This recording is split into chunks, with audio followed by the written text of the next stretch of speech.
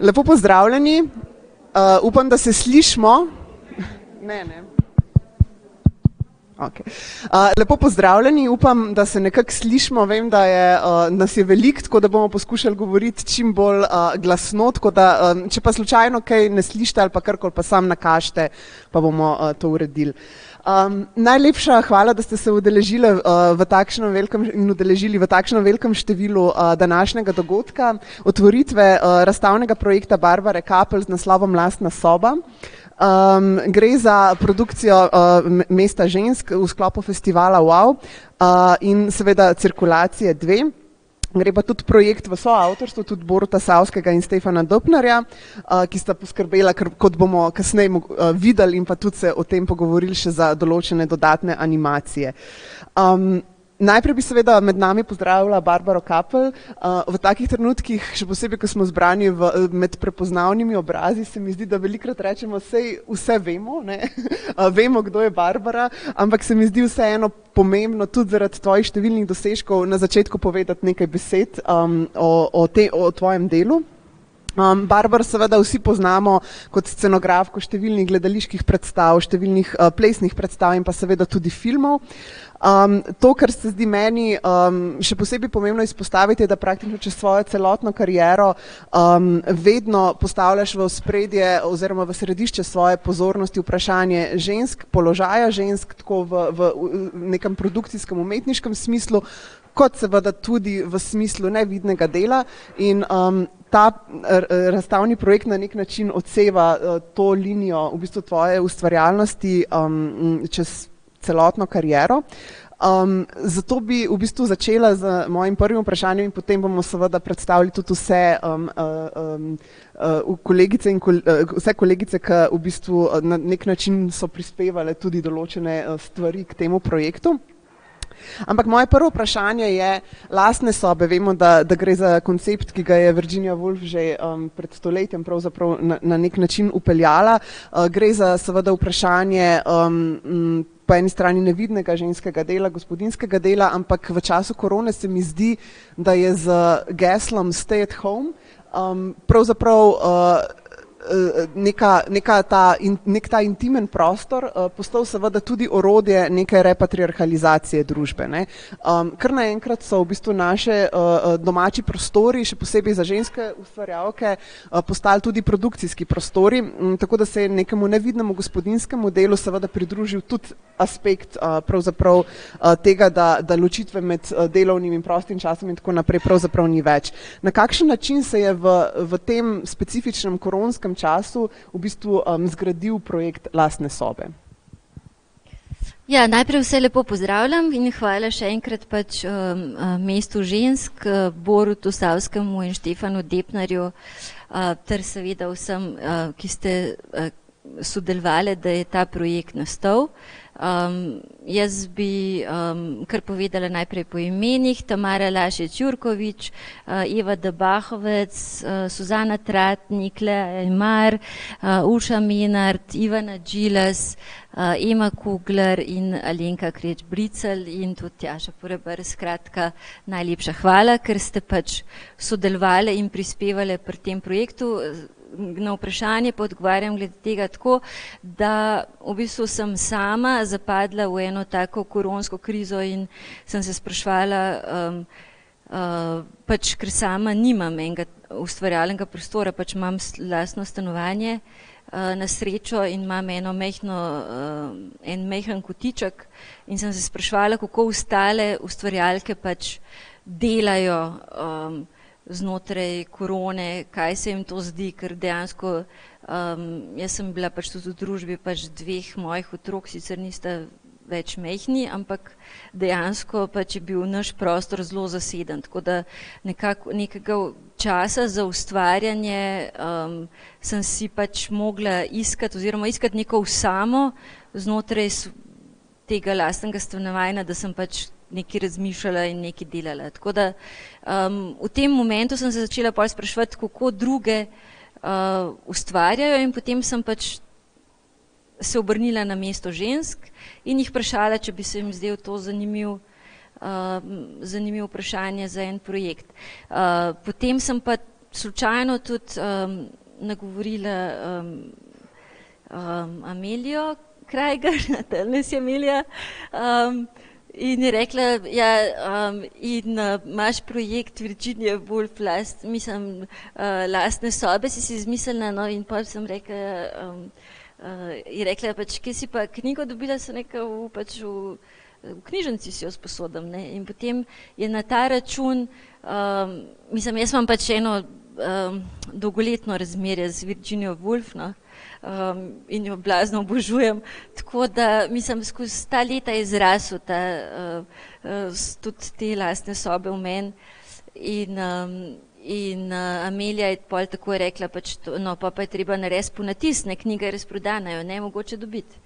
Tako da, no, nastala je še knjiga in nastal je pač ta projekt, um, kot pravim, pač iz enega iz enega vprašanja in iz enega krika, ki se pač mi je zdel v mislim, danem trenutku, da uh, v bistvu res rabim en svoj prostor.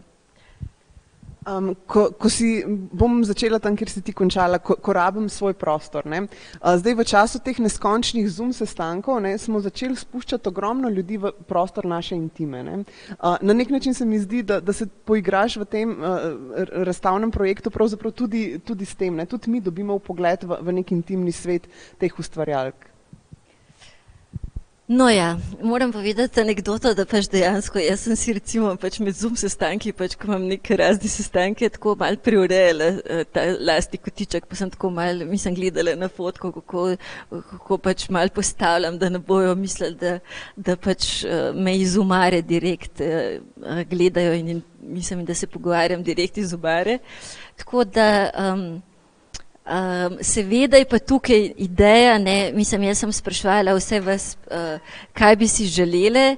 Um, ideja znotraj tega je bila, kaj je to idealno, ampak idealno tudi po moje, da pač uh, pričaram neko vzdušje na podlagi tega, kar ste mi povedali in kar se mi je zdelo zanimivo in kar ste izpostavljali. In um, iz tega sem potem naredila kar neke scenografije. Ne, in, um, Ja, ne, to so intimni prostori, pa, pač tudi intimni znotraj tega, ker pač so intimni uh, vložki. Ampak tako da, um, ja, um, mogoče boste same pokukali v te uh, lastne intimne prostore, pa mogoče bojo drugi tudi kaj najdeli tukaj, kaj dejansko um, je kaj tazga, mislim, kakšno lastno poetiko njihove intime in tudi moje. Um, Meni se, če nekako nadaljujem, uh, vseeno zdelo, ne, uh, da, da smo v bistvu z temi posegi v našo intimo um, seveda zgubljali nadzor v bistvu nad, nad, nad neko lastno agendo. Ne? Um, in zdi se mi, da ko je pač v tem zadnjem letu, ko so recimo prihajale um, nekako pobude, da, da recimo protestno izobesmo iz svojih domov, um, ne vem, uh, protestna gesla, gesla in, in podobne stvari, da je bil to nek tak poskus v bistvu ponovne uh, vzpostavitve um, oziroma zavrnitve te neke um, repatriarhalizacije, ki se je zgodila temu zaprtju, v bistvu, ki je za številne ženske pomenil tudi v bistvu zaprtje v prostor nasilja, um, v prostor, kjer ni bilo solidarnosti in tako naprej. Um, ampak se mi vseeno zdi, ne, da, um, da, da s tem, da, da v bistvu uh, postaviš to vrstne prostore, ki so seveda kurirani prostori zdaj v, v tej razstavi, uh, v polje javnega, da na nek način ponovno politiziramo uh, ta prostor intime. Ne vem, če se strinjaš s tem, ampak bi me zanimalo recimo tvoje razmišljanje. Ja, ne vem, meni se zdi tak, da pač zelo, da ženska umetnost je itak zelo politična itak in da dejansko, mislim, ženska samo sebe že od nekdaj, um, če hoče, pač v teh svojih projektih razgalja. Se mi zdi, da pač moški se tok ne ukvarjajo s tem lastnim razgaljanjem. Ampak pač, ne vem, če že pogledaš, ne vem, Frido Kalo, mislim, da sebe pač totalno iz črevesja do maternice ven na plano. Tako da jaz mislim, da se pač ženske dost razgaljamo v, v, tem, eh, v teh lastnih projektih in da hkrati tudi je to precej, mislim, je precej politično. Ne? Um, po drugi strani se mi pa zdi pač, ja, to, kar se je zgodil, da um, dejansko smo morali svojih domov, pa se mi zdi, da smo še premalno, uh, ker nismo itak nič naredili. Mislim, Ne vem, kako se vam zdi, ampak pač še zmeraj je premalo, nič nismo pametnega naredili, zelo malo smo dosegali. Um, uh, da se dejansko um, bi mogli še bolj. Meni se zdel pač, mislim, meni se zdel to pač kot ena dosti dobra poteza povezave, kar je pa tudi, mislim, zelo tega ženskega kvačkanja, pletenja in tkanja, tako da, mm, ja, zdi se mi pa, že to ena taka povezava med, uh, pa ne samo med ženskami, no, mislim, med vsemi nami, ki se je zgodila, ki je pa v bistvu privlekla neke dobre intime ven. Ne? Mogoče še zadnje vprašanje, potem bomo šli seveda um, po posameznih prostorih, po posameznih ustvarjalkah, ampak zdi se mi, da velik um, v bistvu uh, nekak predmetov je tako ali pa drugače vezanih v teh uh, lastnih sobah na vprašanje produkcije. In vemo, um, seveda znotraj umetnosti, uh, uh, s, smo pač uh, nekako ženske uh, absolutno dvakrat zaterane, po eni strani seveda pač na podlagi spola, po drugi strani uh, tudi kot delavke.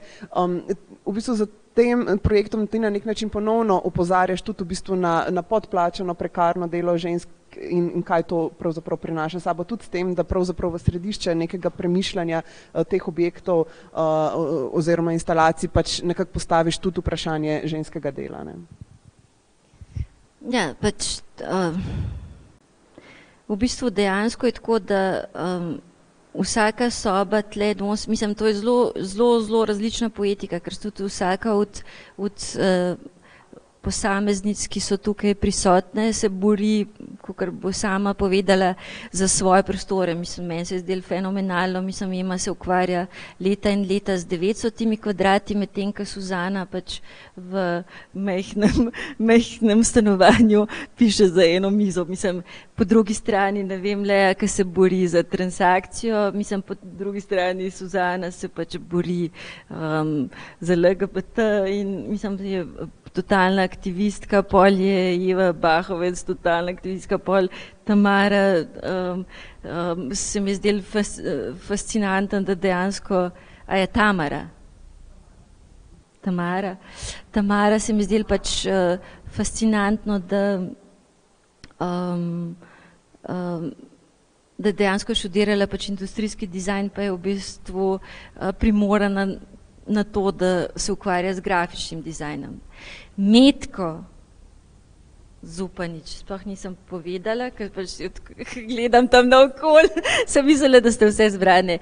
Metka Zupanič, nisem, nisem predstavljala, ne, Metka se pač po svoje bori, mislim, je pa del pač, uh, pa najprej živeti v Mariboru, spet nekaj drugega.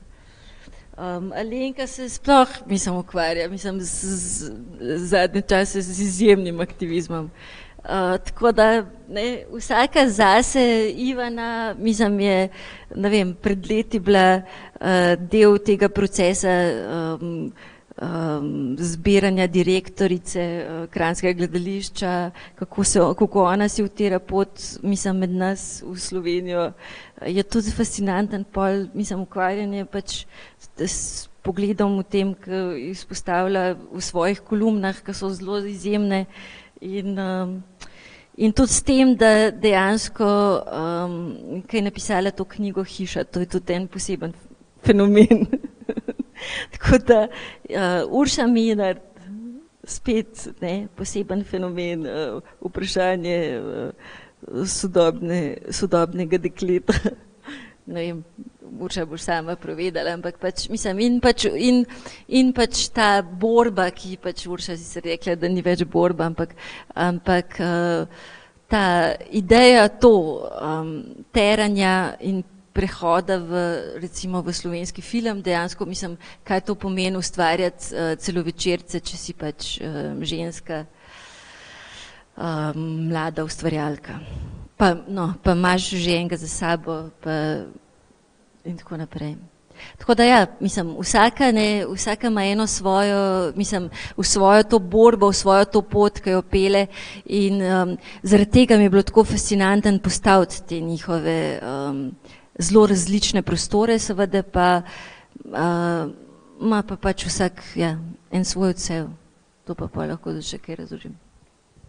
Uh, najlepša hvala, Barbara. Jaz bi zdaj nekako, uh, ker sem se odločila, da bom kar po vrstnem redu abecednem, ker se mi je zdelo, da drugače ne vem, kako ne pravzaprav, da bo čim bolj uh, uh, smiselno uh, uh, naslovim vse, uh, vse ustvarjalke. Mm, tako da, Lea, uh, bi začela s tabo. Um, predmet, ki si ga ti uh, nekako uh, sugerirala in postavila v, v svojo lastno sobo, uh, je uh, rastlina uh, marihuane. Um, in bi me v bistvu zanimalo, um, na kakšen način uh, si, v bistvu, zakaj si želela v ta intimni prostor nekako zaznamovati uh, tudi s to gesto. Vemo, da drugače si seveda, da te poznamo predvsem kot aktivistko znotraj transakcije, za pravice transos, da se boriš za pravice transos oseb in v bistvu skrbiš za vidnost. Um, m, tako da skratka zanima me, kje, uh, zakaj si se odločila za, za, za, to, uh, za to gesto. Uh,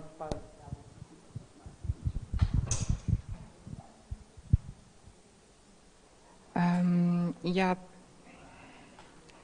jaz sem doživela tisti um, trenutek kot zelo veliko praznino, ker uh, sem bila brez otrok nisem mogla, sem tudi eh, najprej zbolela iz COVID, takrat, ko noben ni vedel, da COVID obstaja, ključeno z zdravniki, ki sem jih klicala, tako da sem pač, uh, začetek te obdobje je bilo tako slabo vse skupaj, da um, sem se vrgla na tisto, ki je ostalo, se pravi pač uh, pomoči uh, ene osebi, ki so še v veliki hujši težave kot jaz. Mislim, preko, preko daljave in je, in, in je to bilo smisla življenja. Mislim, to je to, kaj, uh, uh, kar sem dobila od te obdobje. Uh, marihuana zato, ker je pač moj intimni prostor, je pa pač često, um, rabim se zdaj, grih, sem v eno obdobje, ko uh, veliko raziskujem svoje mentalno zdravje in to, kar vlečem se v življenje. In pač marihuana je simbol tega, da pač ta, samo, ta pot samozdravljenja in ta pot nekako. Um, ja, nimam pa samo to, sicer v sobi imam tudi estrogen, ki je sicer tudi en snov, brez kateri pač se sploh ne predstavljam, da živim.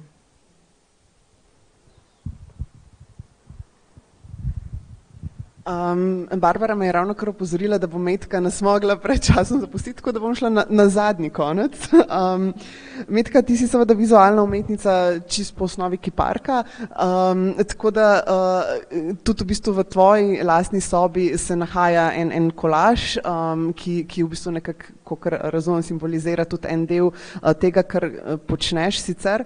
Um, pa bi mogoče vseeno vprašala znotraj tega, kakšna je bila recimo tvoja izkušnja um, v bistvu kot ustvarjalke v tem koronska, koronskem času, na kakšen način v bistvu se, se je tvoje delo spremenilo in kako in zakaj um, seveda si želela ta aspekt poudariti uh, znotraj tega, te razstave.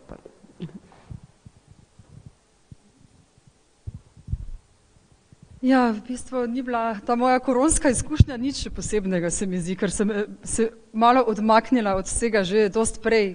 Uh, zato nisem tega občutila zdaj kot neke blazne osame. Sem se pa drugače v koronskem času ja, ukvarjala z boleznjo, z korono samo tudi.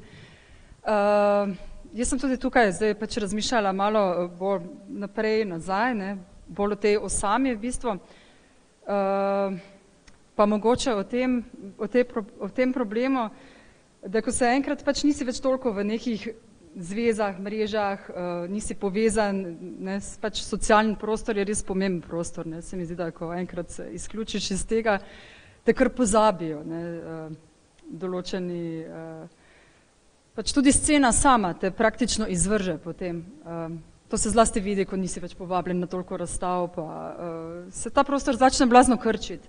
In tudi s tem ideje, ne, se mi zdi, da potem tisti krč, ko nastopi, uh, uh, je nekako zelo povezan tudi z to uh, socialno uh, osamo, no? ker um, jaz sama nisem zdaj tak tip človeka, da bi blazno ustvarjala uh, v tisti samoti, pa bi se ne, uh, vezala na to.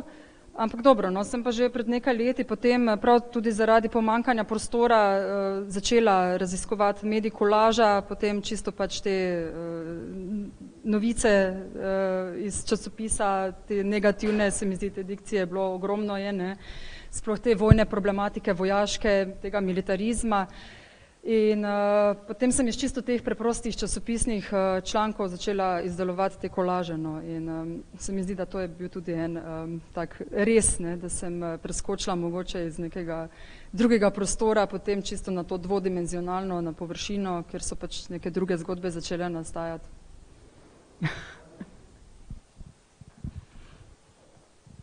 Če grem na, zdaj na, nazaj naprej po, uh, po, po abecedi, uh, Eva Dabahovec je v bistvu naslednja um, in um, vi ste v bistvu prispevali uh, nekako, oziroma upam, da se lahko kritikava, ker že vse tikam, sploh nisem vprašala, tako da bom tudi to si dovolila.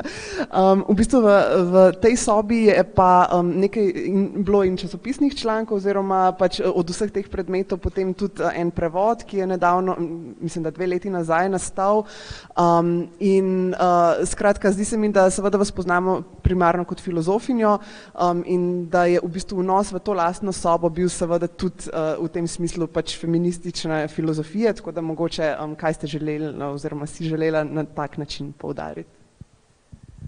Najlepša hvala za povabilo in za to možnost sodelovanja v tem, mislim, da izredno inspirativnem projektu lastne sobe ne samo ena, lastne sobe v množini. Jaz uh, sem se prav res razveselila samega projekta in same možnosti sodelovanja, ker, kot vsi dobro vemo, gre za feministični manifest, literarni feministični manifest, poglavitni manifest prve polovice 20. stoletja, nekaj takega, uh, kar je pozneje uh, postala knjiga drugi spol, Simon de Beauvoir.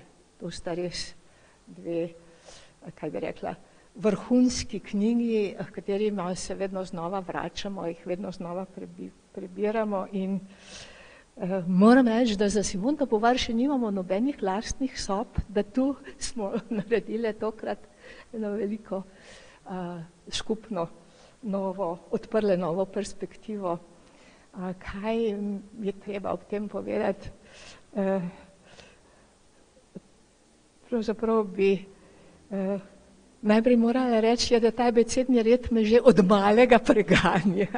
K sreči so tu še nekateri, ki začenjajo sprijemek z A. Ne. Meni se je doskrat dogajalo, da sem morala takoj ne, odgovarjati na vprašanja, na katera še pravzaprav nisem vedela odgovora, ker drugi še niso kaj dosti povedali in potem nisem mogla improvizirati in zdaj sem pravzaprav v nekem podobnem položaju.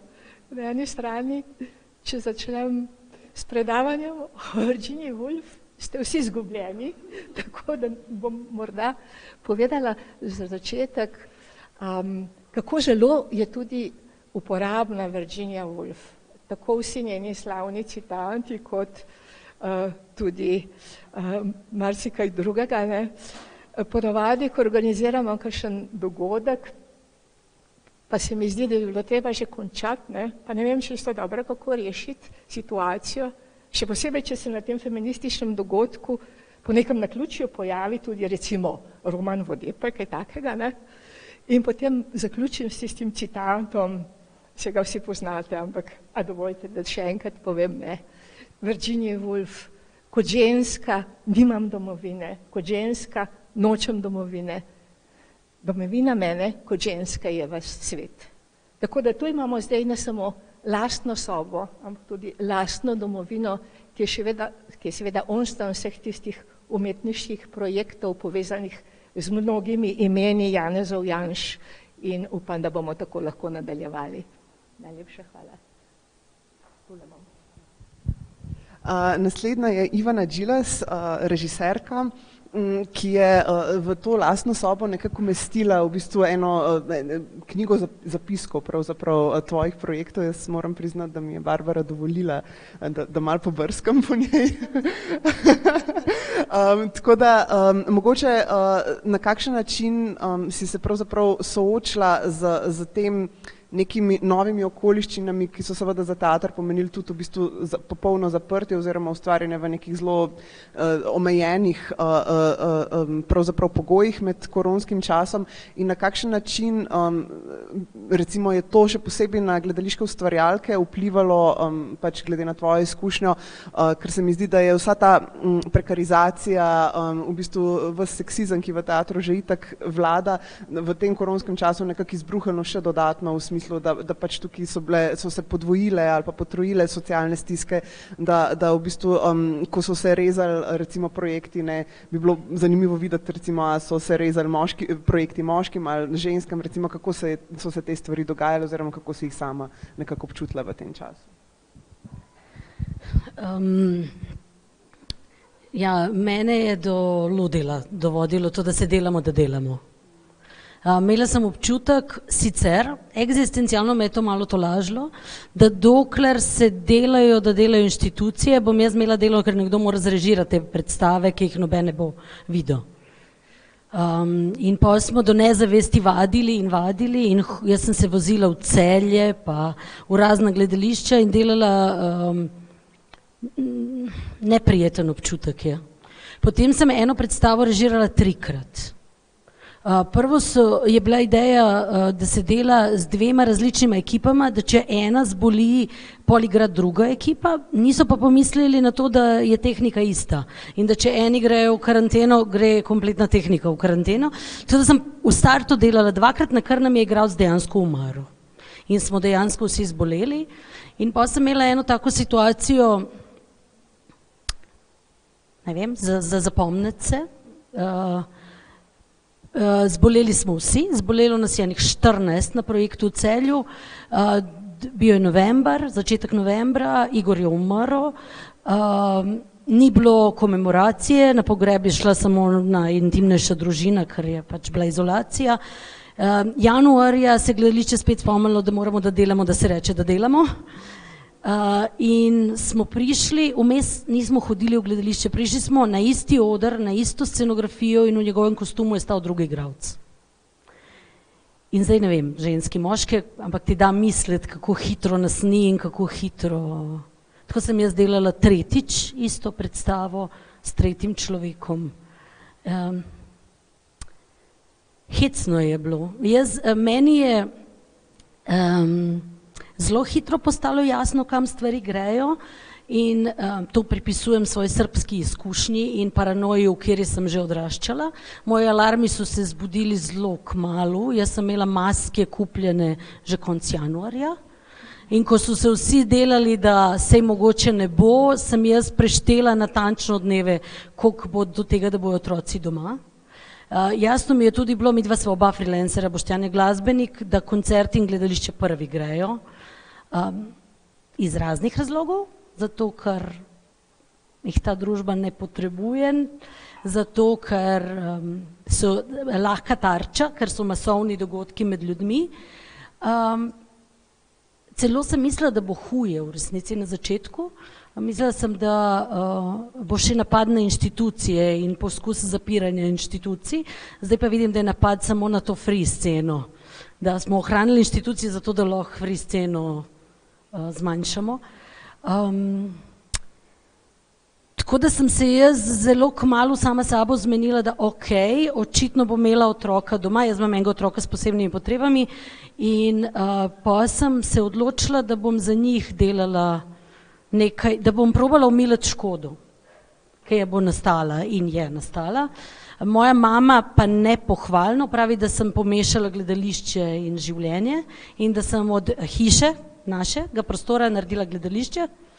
Uh, mi smo se nekaj časa imeli fenomenalno, potem smo se imeli manj fenomenalno, ampak smo se delali in še zmerom zmišljali projekte zaradi teh dveh pamžev, ki sta devet pa deset, pa jim ni treba, da odraščajo, tako kot sem jaz v teh paranoičnih okoliščinah. Tako da um, zraven sem tudi poskušala delati oziroma um, ubogljivo sem hodila na te vaje, zato ker so to bile edini načini, da preživimo finančno.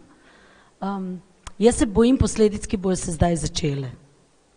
Ker računi se bojo, opet moja, pardon, paranoična srpska pamet, ki se šteje dva in dva in nekde, kje je treba preplačati račune za nazaj. In nekaj časa lahko kupujemo temeljni dohodek in mir in uh, plačujemo predstave, ki jih gleda 15 ljudi, ampak nekje zdaj čakam, da vidim, kako se bo obrnilo. Vprašanje je, ali so moški ali ženske, ne znam odgovoriti. Um, režiserke v gledališču vse več, Uh, jaz sem odraščala v času, ko se z nami niso sploh hoteli pogovarjati, nastajala v tem času, tako da je vse več in uh, jih se več dela. Mislim, da smo tu predvsej na, pred, predvsej na istem. Mislim, freelanceri, da smo predvsej na. Uh, Ne vem, prav zanima me, kaj se bo zgodilo. Situacija v gledališču namreč v inštitucijah je taka, da je v večina gledališč ima eh, tega imaginarnega programa na zalogo že toliko narejenega, da naslednjo sezono ni treba, da nič delamo več. Um, tako da, kako se bojo odločili, se bojo vsak zase. A bojo delali več produkcije, pa plačevali te zunanje sodelovce, pa uh, zbirali, kaj se bo igralo. Ali, vem, da nekatera gledališča abonmaje sploh ne bojo razpisala, to pomeni, da zdaj se šele začne ta pravo. Uh, Alenka Krič-Bricel, um, uh, Alenka, tebe seveda poznamo kot dolgoletno uh, okoljsko aktivistko in seveda tudi uh, tvorno uh, um, ekipo Smetu Meta, ki nekako uh, poskuša uh, vsakič znova um, opozoriti na to, da, da, da je potrebno reciklirati, da, da v bistvu uničujemo svoje okolje in tako naprej. Um, mislim, da ste še posebej v tem koronskem času opravili eno zelo pomembno delo, uh, ko ste upozarjali uh, v bistvu tudi na to potrošništvo pri mas maskah, ne, eh, na kakšen način v bistvu um, v nekem trenutku, ko so se stvari vseeno ustavile, uh, po drugi strani produciramo ogromno uh, nekih novih smeti, ampak v tvojem prostoru, uh, tem lastne sobe, pa je skodelica, tudi super animirana skodelica, um, kot boste lahko potem kasneje videli. Um, zakaj si se odločila, da boš to, kar mene recimo vedno spomni na ta obred kave, ne, um, da, da se odločiš v bistvu za skodelico, ki jo postaviš v ta svoj intimni prostor, tudi nam na ogled? Ja, v bistvu je tako, da se niti nisem tako odločila, ampak je rekla, pač z Barbaro smo se pogovarjali, pa Barbara ve, da smo imeli tudi razstavo o kavi uh, zdaj, pa da mi dve z Majo vedno rečeva, da je kava res uh, pogonsko gorivo uh, najnega uh, tega obrata. uh, in um, ja, pač ta šalca, je pa tukaj zato niti ni to moja najljubša šalca, ampak vem, zakaj sem jo izbrala. Uh, izbrala sem jo pa zato, ker je uh, tako zelo funkcionalna, uh, pa uh, taka retro iz enih drugih časov, uh, ker ta potrošništvo še ni bilo tako, to potrošništvo še ni bilo tako uh, razvito, pa so bile um, stvari um, bolj pametno oblikovane. No? Ker recimo razumem vse smeti kot dizajnerski problem. Uh, pa uh, te šalce so tako, sestavijo se ena v drugo, uh, ne poberajo veliko prostora, uh, pa niso usiljive s svojo obliko, um, zelo, um, zelo težko se ukrušijo, dobro se pomivajo, uh, lepo je kavo piti z njih. Um, to je to. Uh, naslednja je Ema Kugler. uh, seveda, res je, dolgoletna filmska ustvarjalka, ki je v ta prostor prispevala nagrado. um, Ema, ti se uh, z vprašanjem prostora tudi sicer veliko ukvarjaš. Vsakič, tako, vsakič znova se boriš za ta prostor.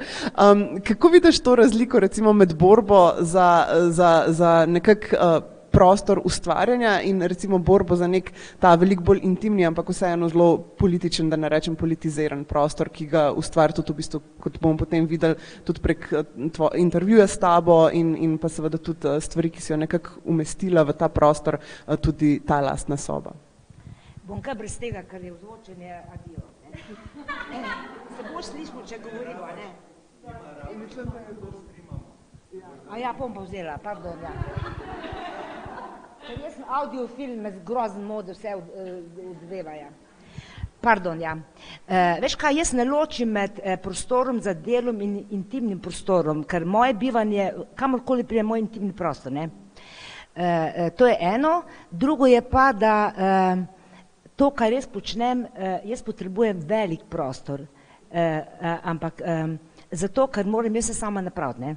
In zdaj film je industrija in jaz rabim velik prostor, ne. Pa tudi, če ne bi to, to je moja narava, meni je vsak prostor premajhen ampak, ampak to je v moji naravi. Ne?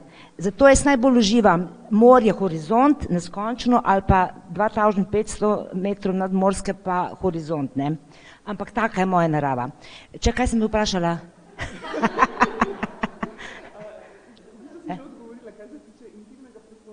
Ja, ni, uh, mislim, poglej, življenje, jaz ne vem, kdo lahko loči življenje, da je nekaj intimno, nekaj pa ni.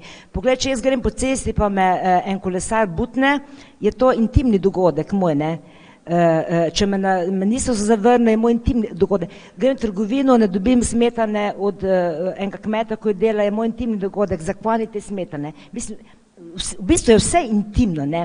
Tako da jaz ne, ne vem, uh, kako se lahko kdo sploh vpraša, kaj ni intimno, ne? ker mi intimo doživljamo prek lastnega doživljanja. Ne? Tako da ja, eh, vse je intimno. Tudi tale okolje danes tu je intimno. Ne? Dovolj. Za prvi krok. um, zdaj bi se obrnila k Tamari uh, Lašič Jurkovič, uh, oblikovalki. Uh, ki je um, uh, prost, tvoj prostor oziroma tvoja lastna soba je nekako um, zelo, se mi zdi, uh, estetsko oblikovana nekje med uh, rustikalnim uh, lesom in uh, belino in, in seveda rastlinami. Uh, mogoče na kakšen način um, si, si pravzaprav um, ti, uh, tako podobno vprašanje, kot sem ga zastavila že nekajkrat, doživljala um, položaj uh, v bistvu v tem koronskem času in mogoče tudi zdaj postkoronskem času za nekoga, ki, ki je pravzaprav odvisen od vsakič znova pravzaprav od trga, ki se je v nekem trenutku zaprl, um, na kakšen način je, je ta um, usiljena v bistvu individualizacija, um, prek katere je zelo težko bilo dostopati pravzaprav do, do so ljudi, ustvarjati kakršne kol kolektivne momente, um, na kakšen način v bistvu je to vplivalo na tvoje delo um, in pa tudi na tvoje vsakdanje življenje. Hvala. Um, ja, jaz sem v bistvu že pred korono skoraj vsak dan bila sam z računalnikom, ker sem trenutno uh, delam kot uh, grafična oblikovalka. Um, je pa med korono v bistvu ratalo to delo še bolj dolgotrajno in razvlečeno do večera. do večera. In se mi zdi, da sem pol res cele dneve no, preživela pred ekranom, kar je um, zelo, se mi zdi, zelo utrujajoče. No? Um, in nekako nisem znala niti narediti tega, um, tega, m, tega presečišča med uh, delom in uh, prostim časom. Uh, sem pa že tako ugotovila, no, da me to delo z računalnikom dost nekako hromi, um, ker sem po izobrazbi sem industrijska oblikovalka. In že v bistvu nekako um, na fakulteti smo imeli zelo malo prostora za neko ustvarjanje, za fizično ne vem, izdelavo raznih izdelkov, so bili res slabi pogoji. In zdaj, ko sem pa pač bila primorana vzeti službo grafične oblikovalke, je pa to še toliko bolj očitno. Um, tako da zares sploh nekako v zadnjem letu nisem videla neke možnosti oddejstvovanja druge, kot pač v službi in um, tako prek računalnika.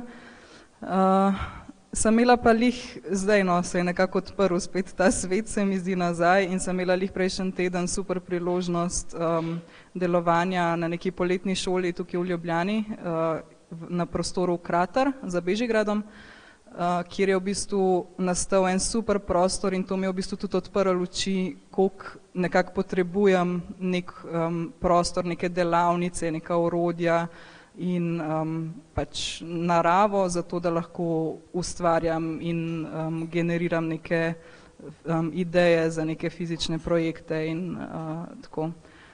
Tako da se mi zdi, da vse pač prihajajo neke priložnosti, um, zdaj, ko se, začne, ko se je začel spet vse malo odpirati, um, ampak ja, tudi ta, ta moja soba je v bistvu zelo taka prazna, razen pač ful velik rastlinja je not, um, ker se mi zdi, da bi rabila velik neke praznine, zato da bi pol sploh lahko stopila stran od računalnika in nekako vedela, mislim, začela razmišljati, kaj sploh naj počnem drugega um, kot v digitalnem svetu. No. Uh, naslednja, uh, ki jo bom prosila, oziroma povabila k besedi, je Urša Menard. Um, v tvoji sobi uh, se nahaja miška in dopuščam, uh, miška za um, skratka računalniška miška. Um, jaz nekako dopuščam možnost, da je, da je bil pomen drug, ampak uh, moje misli, ki sem videla to sobo, so pa avtomatično uh, nekako zletele k temu, da um, v bistvu ste v Zvezi filmskih društv uh, pravzaprav izdelali kar eno tako zelo natančno statistiko oziroma raziskavo ne, uh, o položaju žensk um, v bistvu v, v slovenski filmski industriji in ko vidimo te statistike, se mi zdi, da, um, da nam zelo hitro postane jasno, v bistvu, kakšna je situacija. Tako da um, mogoče kako um, se je zdaj uh, v času te neke nove, ne samo zdravstvene, ampak tudi v bistvu uh, okoljske in seveda socialne krize, ki verjetno šele prihaja, um, kakšna napoved je v bistvu že izjemno slaba situacija, ki je prej vladala uh, po tvojem zdaj na novo in na kakšen način se to, če uh, sploh v bistvu zrcali prek tvojega lastnega dela oziroma lastne izkušnje? Hvala.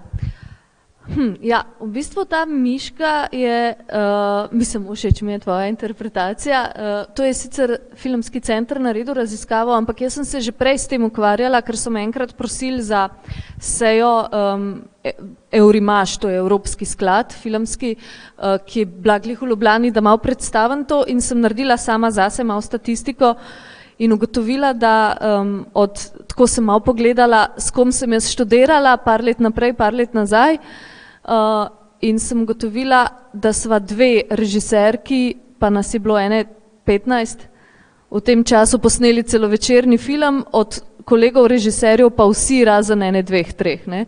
Um, pa je bilo razmerje fantje punce tako nekje ena proti dva, recimo, ko sem jaz študirala. In se mi je to zdaj, to me je kar šokiralo, pa ne samo mene, pol tudi kolegice, ta ta druga ko je Barbara Zemljič, ki je takrat istočasno približno študirala, sva se to pogovarjali, sva bili vsi ošita, res, ampak ne. Um, tako da je ta situacija bila do pred kratkim še zelo grozljiva. Se mi pa zdi, da se zdaj izboljšuje, no, zdaj, ko vidim v glavnem um, prvenci, ki prihajajo filmski, so v glavnem, skoraj bi rekla v večji meri, da so režiserke ali pa vsaj 50-50. Uh, če bi mi nekdo rekel naštej deset najbolj talentiranih, teh, ki za mano prihajajo, bi bilo vsaj osem režiserk od teh desetih. Tako da jaz mislim, da se stvari, mislim pa tudi ni več te, uh, ni več te prestrašenosti, uaj, lahko zaupamo denar, to je velik denar, ja, če ne bo zdaj zapravila za, ne vem, uložke, ali kaj, mislim, ne vem, kaj so razmišljali, ne vem, kaj so razmišljali, da so se morale generacije pred mano, tako kot Ema, pa Maja Vajs, ki so se fajtale res, ko neke zverine, da so prišle sploh kamorkoli, no, pa se še vedno fajtajo. Uh, se mi zdi, no. Vsaj za nas je zdaj lažje, ampak to tebi nič ne pomaga, kaj je dost. Tako da se mi zdi, da, se mi zdi, da imamo v bistvu privilegij, no, da sem prišla nekako glih tam, ko se je, malo so že bila odprta, še malo smo jih odprli in da nekako vedno lažje to postaja. Zdaj, kar se pa tiče uh, te epidemije, pa to, kar je v resnici ta miška za me nekako uh, simbolizira, je pa, to je dejansko miška, s katero sem jaz prepotovala um, kar velik enih, se je že malo tako outdated, ni glih najbolj moderna, Bluetooth miška je, nima kabla, ne, in uh, ni nikamor privezana, ona potuje. In sem dejansko vedno, ko sem kam šla, pa sem vedela, da moram tam kaj napisati, kaj narediti, sem jo vzela sabo, ker je taka mičkena, fina.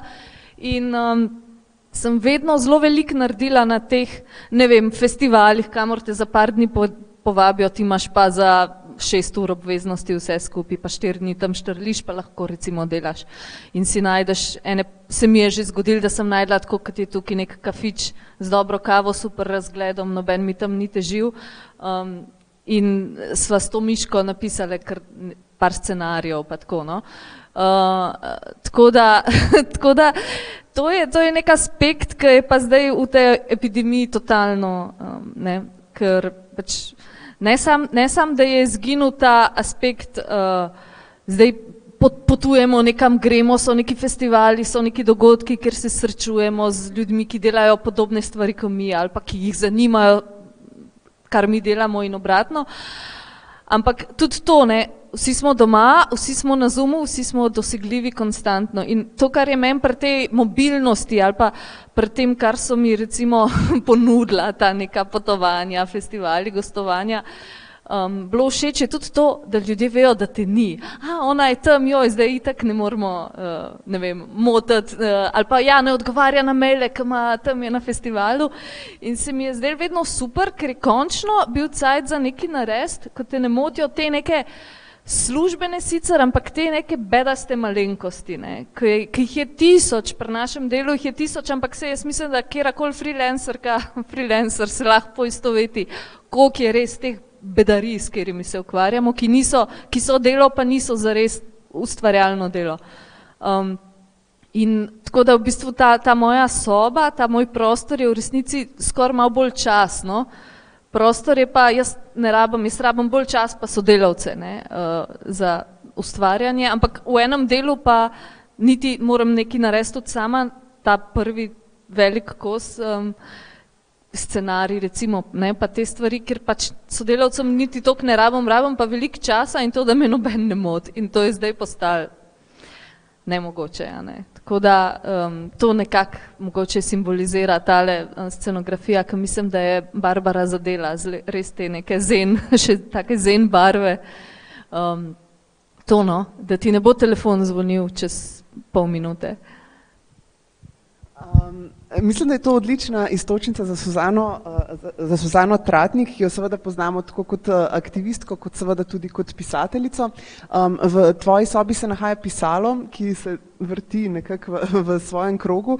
Um, nekako se mi zdi, da, da če smo bili številne um, v tem koronskem času v bistvu soočene s tem, da smo kar naenkrat začeli delati od doma, um, so seveda poklici uh, nekaterih žensk že uh, in seveda tudi vseh ostalih um, že prej bili nekako vezani na, na polje um, in pisatelj, pisateljica je zagotovo eden izmed teh poklicov, um, kjer uh, v bistvu uh, je verjeten um, zelo težko pravzaprav najdati znotraj uh, te prekarne situacije, v kateri pač uh, v takšnem poklicu živiš, najdati v bistvu neko obliko tudi uh, v bistvu upora proti nekemu izkoriščanju in tako naprej, ker si seveda pač sam svoj zaposlovalec, ker si seveda odvisen od teh projektov in pravzaprav te, te nekak ločitve od um, Uh, oziroma tega pravzaprav delovnega mesta, ker bi se lahko srečal s sodelovkami, sodelovci, seveda ni. Um, in zato se mi zdi, da um, je posebej zanimivo oziroma meni uh, ljubo, da, da je pravzaprav tvoj prostor oziroma tvoja lastna soba potem nekako skombinirana za črko L, uh, ki mislim, da je bila nek uh, predlog, da, da, uh, da, da Barbara nekako jame še ta del uh, tvoje recimo aktivistične poti in me zanima, če lahko nekako um, deliš, zakaj si si zaželela nekako ta dva uh, elementa. Um, znotraj uh, interpretacije tvojega lastnega prostora oziroma sobe. Kjer dva elementa nisem se ga slišala?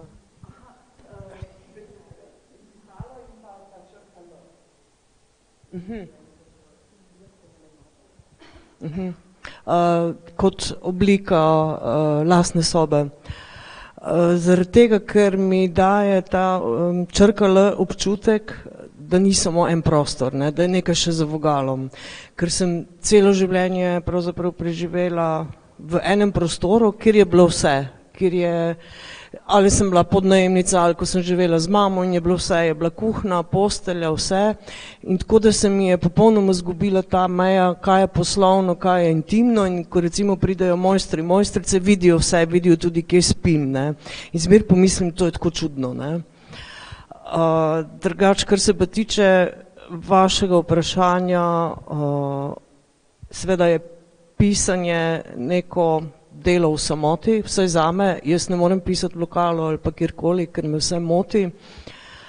Sem se pa, tako da glede tega seveda ni bilo razlike, sem se pa nekako med obema valoma epidemije prepričala, da je moja samost uh, zelo radikalna, ne, dosti bolj kot sem mislila ne, in da samo sebe nekako lociram um, v lezbično ali v LGBT skupnost, ki niso sorodstvene in krvne vezi in ta skupnost je tudi razpadla na neke manjše nuklearne note ali družinske ali pare ali kakorkoli, ker se pač nismo smeli uh, družiti med sabo in to mi je bilo pravzaprav najtežje sprejetne. In uh, da so bile tudi moje prijateljske vezi v glavnem uh, po zumih in tako naprej.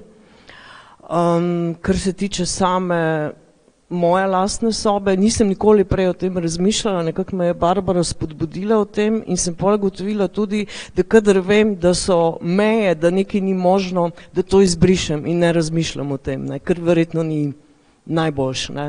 Kot bi rekla izolog in treba je manifestirati svoje želje in pa se zgodi. Ne.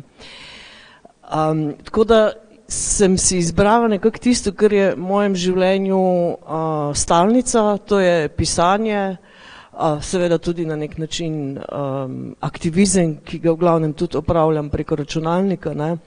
in pa to, da hodim v savno. Uh, zato sem si zaželela tudi uh, savno, ker to so stvari, s pomočjo katerih sem preživela vse, ne glede na to, kaj se je v mojem življenju uh, dogajalo. Uh, želela sem si tudi, da je odprto, da dežuje noter v sobo, da, da je en tak bazenček, mislim, to sem videla v Indiji, to ne vem, kako je v Sloveniji uresničljivo, ampak jaz um, nisem ravno človek, ki bi si zelo želel iti v naravo, uh, imam rado urbanost in si ne predstavljam življenje izven mesta, ampak se mi zdi pa fajn, da pride mal narave k meni. Ja. Hvala. Um, in uh, glede na to, da je ura 8 in ob 8 je bila napovedana uh, seveda tudi uradno odprtje uh, te razstave, bi jaz za konec uh, pravzaprav um, mogoče vprašala še enkrat, um, na kakšen način, ker vemo, da je v bistvu to kombinacija pravzaprav in scenografije in um, v resnici tudi intervjujev, ki si jih posnela, mogoče um, kako, kako bi recimo povabila vse obiskovalce in obiskovalke um, k ogledu uh, lastnih sob. Uh, ja, predvsem bi prosila, če lahko počasi, uh, eden za drugim, mislim, oziroma pač, da se počasi, da si vzamete čas, tukaj bomo imeli tudi vino, pa vse ostalo, tako da počasi vsak si pa pogleda um, in da je pač mogoče pozoren na to, kar sta pač na te zvoke, ki, prihaja, ki bojo prihajali, ki še ne prihajajo in na to gibanje. Um, teh uh, mehkih robotkov, ki jih je pač naredil Štefan in pač na mogoče na neke detajle, ki so, mogoče ste jih prebrali uh, znotraj teh zgodb, ampak mogoče jih pa, me pa lahko tudi vprašate, um, kaj sem s čim mislila ali pa mogoče tudi um, sama dekleta bojo kaj povedala, ker me tudi zanima, kako bojo one videle to. Da, uh, najlepša hvala vsem za pozornost, hvala mestu žensk uh, seveda za vabilo um, in vsem vam, da ste sodelovali um, pri tej uh, tako razpravi kot seveda projektu. Tako da najlepša hvala vsem. Aha. Najlepša hvala mestu žensk in cirkulaciji. Hvala. Okay.